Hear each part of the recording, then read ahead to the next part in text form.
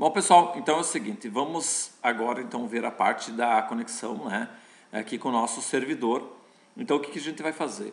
É, a ideia então é, nós temos essa, esse aqui que é o nosso servidor, né, o web, é, que está lá no PostgreSQL, e esse cara aqui, então, que é o nosso SQLite, ok? Então, tudo tranquilo, né? Então, o que, que nós temos que fazer? É, no momento que eu gravar aqui nesse que usar esse insert que, em que eu estiver gravando, vou dar um F12 aqui. Veja então que quando que eu mando gravar. Então quando eu entro o nome, depois que eu digito o nome, então ele ele vai cair aqui no, na entrada do e-mail. Depois que eu gravar o e-mail é que ele vai então verificar se é uma nova.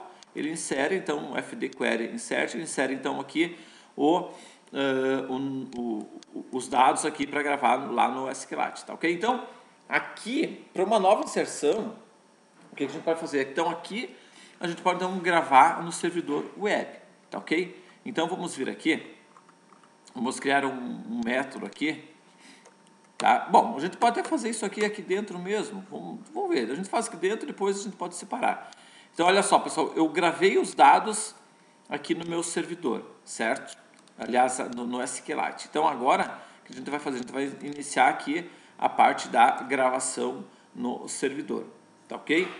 Para isso, o ideal é você fazer que nem eu fiz lá no, no curso, deixa eu voltar aqui, no curso, se eu não me engano, foi o Mobile 2.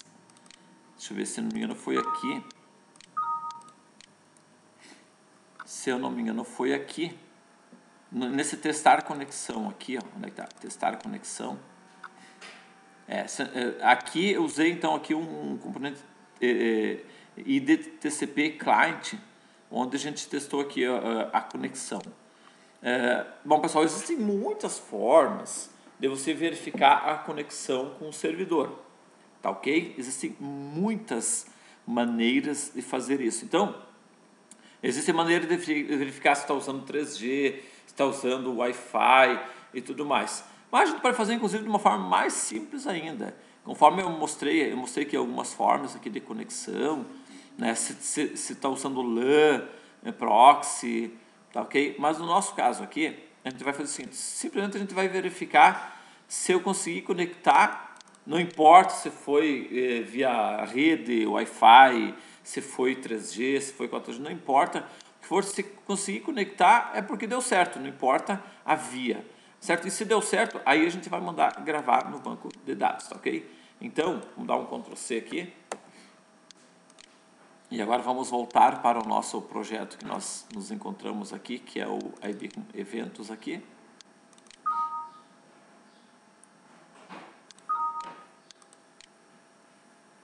Ok, F12.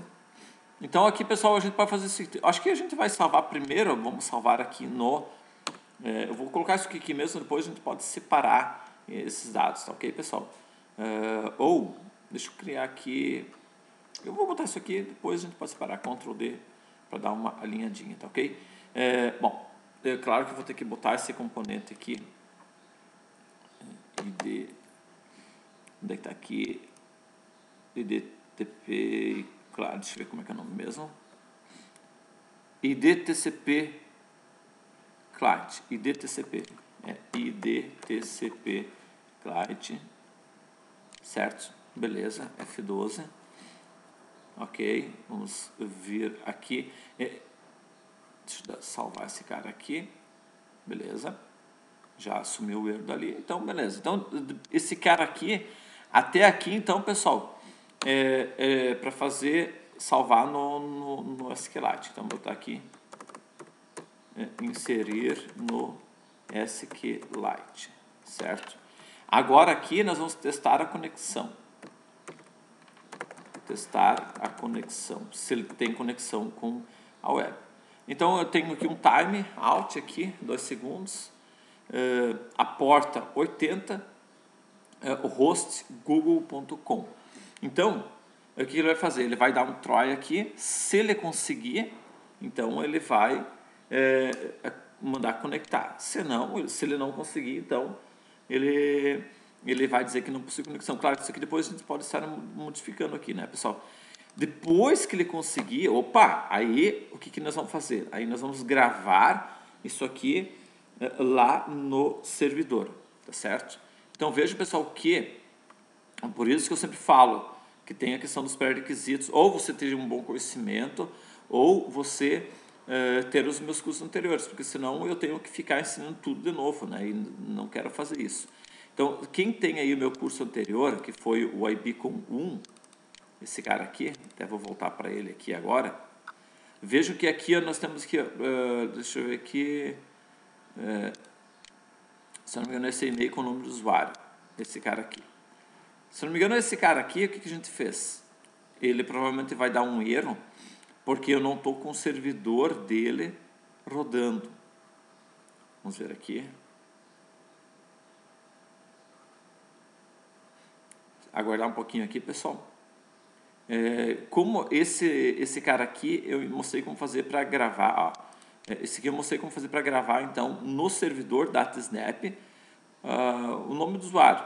Somente pra, para que ele possa, pudesse então, estar identificando quem que era o usuário. Então, é, é, o que nós vamos fazer é o que, na verdade, eu ensinei lá no curso 1 de IBICO. Só que é claro que agora a gente está integrando com a SQLite, agora o propósito é diferente, mas a, a, ideia, né, a base é a mesma. Veja que nós temos aqui também ó, SQLite e tudo mais. Então, o que, que ele está fazendo aqui? Vamos ver o seu código.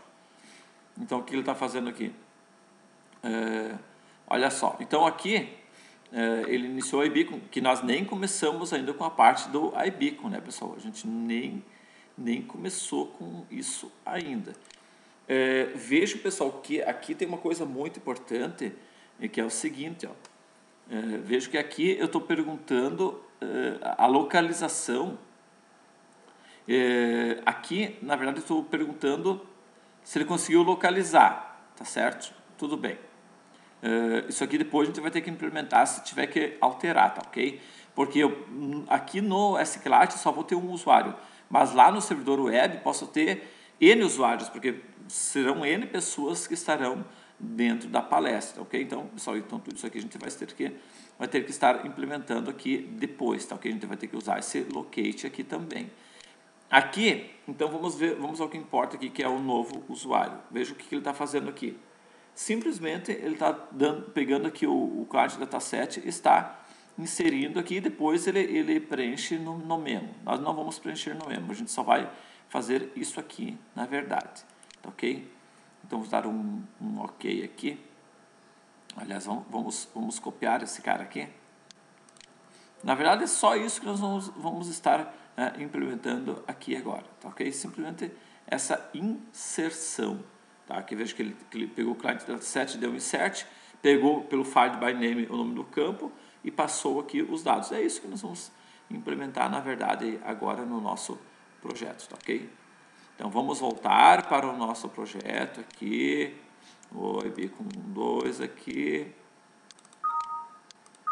É bom eu, eu já mostrando para vocês que quem está com os outros DVDs aí já sabe, opa, da onde que fui lá e busquei. De qualquer forma, eu vou explicar também aqui para vocês. Então, se eu consigo eh, conectar, se deu tudo certo com a conexão, então o que nós vamos fazer? Deixa eu dar um Ctrl D para alinhar. Nós vamos pegar o nosso client dataset, certo? Vamos dar aqui um client dataset aqui. E nós vamos dar um insert. Deixa eu dar aqui um Ctrl V aqui para tudo.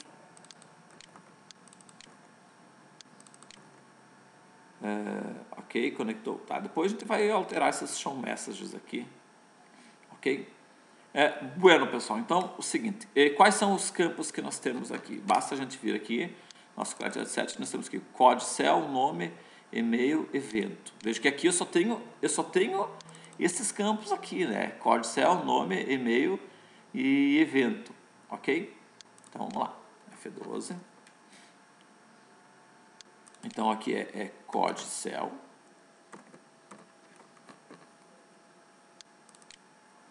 Cell, nome, e-mail, evento. Vamos lá. Então, código do celular, pessoal. Quem, qual que vai ser o código do celular? Vai ser esse cara aqui, né? aqui um Ctrl C. Tá? Uh, aí nós temos aqui o nome. O nome então vai ser descrição do nome que vai ser passado. Ctrl V, Ctrl C, Ctrl V e Ctrl V. Quais são os outros que nós temos lá? Aqui nós temos ainda o e-mail da pessoa, né? Então, vamos botar aqui o e-mail. Descrição do e-mail. Tá? E por último, nós temos aqui o evento. Tá? Veja que como eu não criei uma tabela à parte para eventos, é, por exemplo, para o administrador informar qual que é o nome do evento, agora eu vou botar aqui é, palestra Neri, palestra Neri da Criciúma. Aliás, é Minas Gerais minha próxima palestra, MG, lá em Poças. Tudo bem, está aqui, MG, tudo bem. Ok. Então, o que, que ele vai fazer? Ele vai, então, eh, gravar esses dados lá no servidor, ok? Então, agora, próximo diálogo, a gente vai testar isso aqui. Claro, aí nós vamos ter que começar a ajeitar. Ah, por exemplo, ah, foi para o servidor? Foi. Então, aqui não vai ser mais N. Nós vamos ter que mudar isso aqui para S. Né? Então, são tudo coisas que nós vamos ter que estar implementando uh, daqui para frente, tá ok? Então, um abraço, até a próxima aula. Tchau!